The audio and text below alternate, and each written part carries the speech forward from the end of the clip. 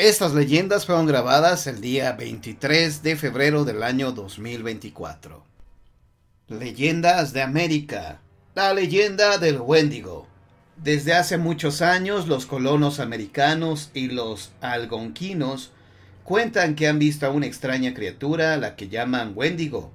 Los que lo han visto lo describen como un ser terrorífico antropomorfo, peludo, con grandes ojos amarillos, garras y colmillos afilados, la piel pálida y grisácea. Según la leyenda, no se le puede ver de perfil porque es muy delgado. Para verlo, hay que estar frente a él. No solo es un relato de la antigüedad. Hace pocos años hubo gente que afirmó haberlo visto en la región de los Grandes Lagos, en Norteamérica. También se lo ha visto en Minnesota y en Ontario, donde se cuenta que cada vez que alguien afirma haberlo visto, ocurre una misteriosa muerte, por lo que se cree que es de mal augurio. La creencia de que existe este monstruo se acrecentó debido a que muchas personas desaparecieron en los bosques de Norteamérica sin dejar rastro. Se decía que el Wendigo los devoraba vivos, ya que le fascinaba la carne humana. La leyenda popular dice que hace cientos de años dos hombres adelantaron en la espesura del bosque. Como no tenían nada que comer, uno de ellos se volvió loco, mató a su compañero y se lo comió. Fue así que aquel hombre se convirtió en un monstruo caníbal. Otra versión asegura que el Wendigo no es un ser físico, sino un espíritu que se apodera de los hombres volviéndolos caníbales salvajes. Se dice que cuando esto sucede, no hay exorcismo ni cura que pueda sacar el espíritu del Wendigo. La persona poseída tendrá que saciar su hambre con carne humana hasta el día de su muerte. Aunque la literatura de Algernon Blackwood lo dibuja como un ser de ficción, hay que recordar que el Wendigo es una criatura que forma parte del folclore de las tribus nativas de Estados Unidos y Canadá. Leyenda de Brasil, la mula sin cabeza. En Brasil y algunas regiones de Guatemala se cuenta la leyenda de la mula sin cabeza. Se dice que una mujer muy hermosa se enamoró de un sacerdote. No conforme con verlo, lo sedujo hasta que éste accedió a sus deseos, llevando a cabo sus encuentros amorosos en la misma iglesia. Dios, enfurecido por esta falta de respeto, maldijo a la mujer condenándola a vivir con una mula sin cabeza, que vaga por las noches acechando a sus víctimas. También se dice que el sacerdote fue castigado y que su espíritu sin cabeza deambula por las calles. Cuentan los que han visto a la mula que basta con correr frente a una cruz a medianoche para que su espectro se aparezca. Algunos dicen que en lugar de cabeza tiene una llama que escupe fuego. Dicen que para evitar ser atacado por este ser, es necesario tirarse al piso y esconder las uñas y los dientes, pues a la mula le gusta comérselos. Este ser tiene la capacidad de transmitir su maldición a otras mujeres pecadoras. La transformación de la nueva víctima maldita ocurre generalmente en un cruce de caminos en la noche del jueves al viernes, sobre todo si la noche es de luna llena. Leyenda de Colombia, la pata sola.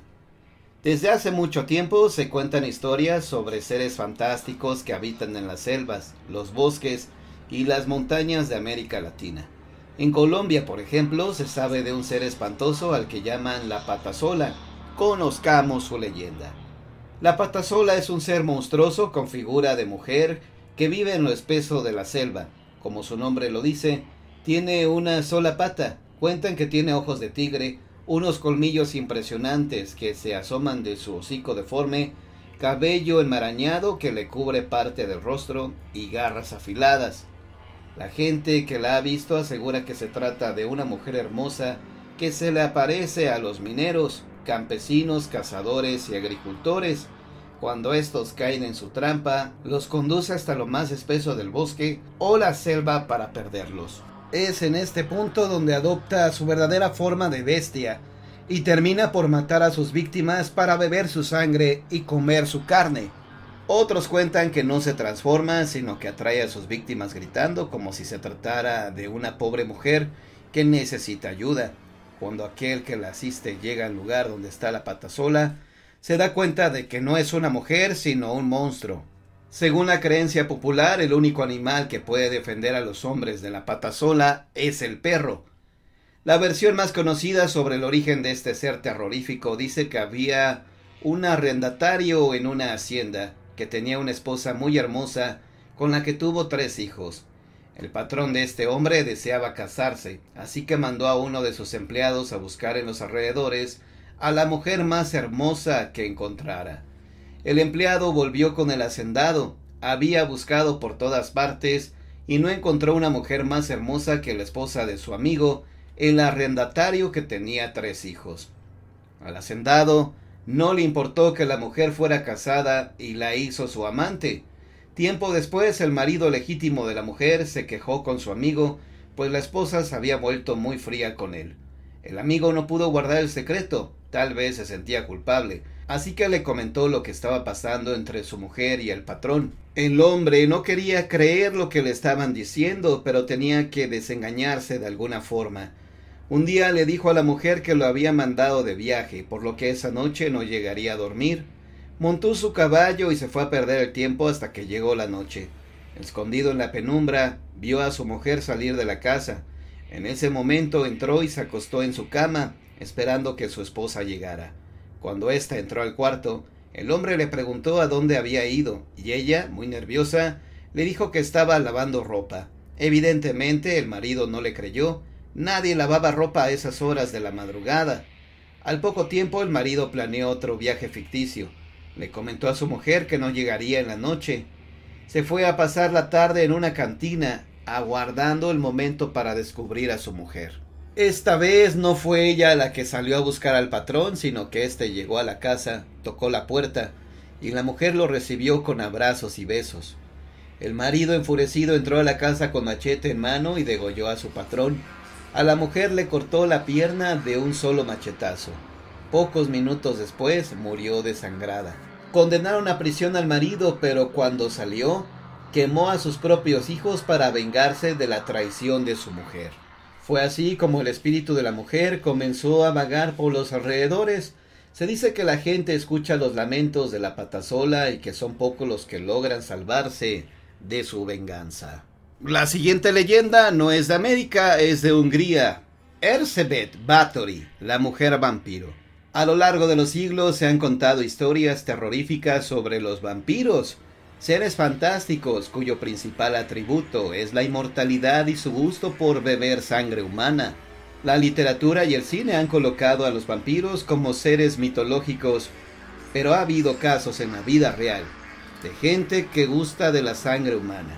Una de estas personas fue Erzsébet Báthory, en español Isabel Báthory, quien si bien no bebía la sangre, sí se daba baños con esta sustancia para permanecer joven. Conozcamos su leyenda. La familia de Erzsébet Báthory era oriunda de Transilvania, hogar del famoso conde Drácula. Nació el 7 de agosto de 1560 en el antiguo reino de Hungría y se sabe que sufría de ataques, probablemente tenía epilepsia. Era una joven brillante, sabía húngaro, latín y alemán, además de que era más culta que cualquier joven de su edad. Se casó a los 15 años con el conde Feren Nadasdi, con quien se enviaba cartas aconsejándose de cómo torturar y castigar a sus sirvientes. El joven conde fue conocido como el Caballero Negro de Hungría, pues era popular por la forma cruel en la que empalaba a sus enemigos. El matrimonio tuvo dos hijas y un varón. Tiempo después, cuando Erzsébet tenía 44 años, su esposo murió a causa de una enfermedad y ella decidió correr a su insoportable suegra y castigar a la mayoría de sus sirvientes, enviándolos al calabozo. Por esas épocas, Erzsébet se encontró con una anciana horrible, de la cual se burló. La mujer furiosa por la ofensa de la condesa la maldijo para que pronto se convirtiera en una anciana como ella. Erzsébet estaba segura de que aquella mujer era una bruja y que sus poderes terminarían con su juventud, una mañana, mientras una joven sirvienta la peinaba, le jaló el cabello accidentalmente.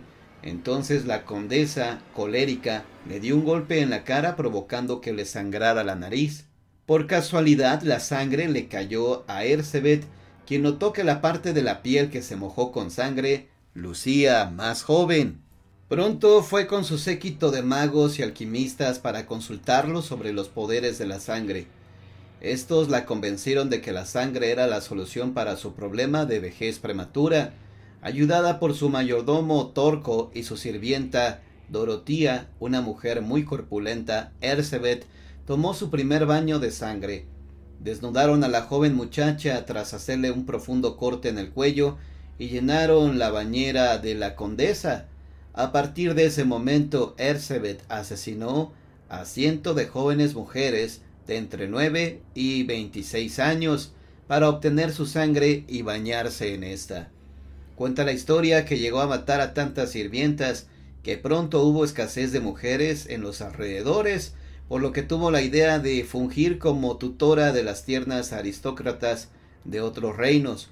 Misteriosamente esas jóvenes que llegaron a su castillo también murieron, por lo que la gente comenzó a sospechar que algo andaba mal. En un principio pensaron que realmente había vampiros en Hungría. Era extraño y lógico que aparecieran tantos cadáveres desangrados en el río, los sembradíos y los barrancos. Luego percibieron que el castillo apestaba a putrefacción por la sangre seca que salpicaba las paredes. De alguna manera, los crímenes de la vampiresa tenían que terminar un día. El rey Matyas mandó hacer una investigación sobre el caso de Ersebet, el primo de la condesa, que era su enemigo, llegó al castillo y encontró a una joven desangrándose, a otra agonizando por una golpiza que le habían dado, y los cadáveres de por lo menos cincuenta jóvenes. Tras enjuiciar a todos sus cómplices, Ersebet fue condenada a muerte.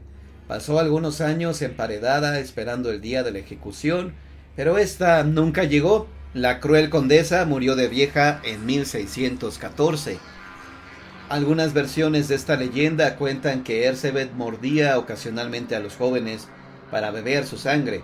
Otras aseguran que se convirtió en hábil practicante de la brujería y que el ingrediente principal de sus rituales era la sangre de las doncellas. Una cosa es cierto, Ersebet existió, como dijimos en líneas anteriores, fue una noble del reino de Hungría. Ciertas fuentes han tratado de desmitificarla, alegando que las historias sobre su afición a la sangre no son más que cargos que la adjudicaron para derrocarla. Pero es verdad que alrededor de su castillo hay cientos de tumbas donde yacen los cuerpos de jóvenes y mujeres.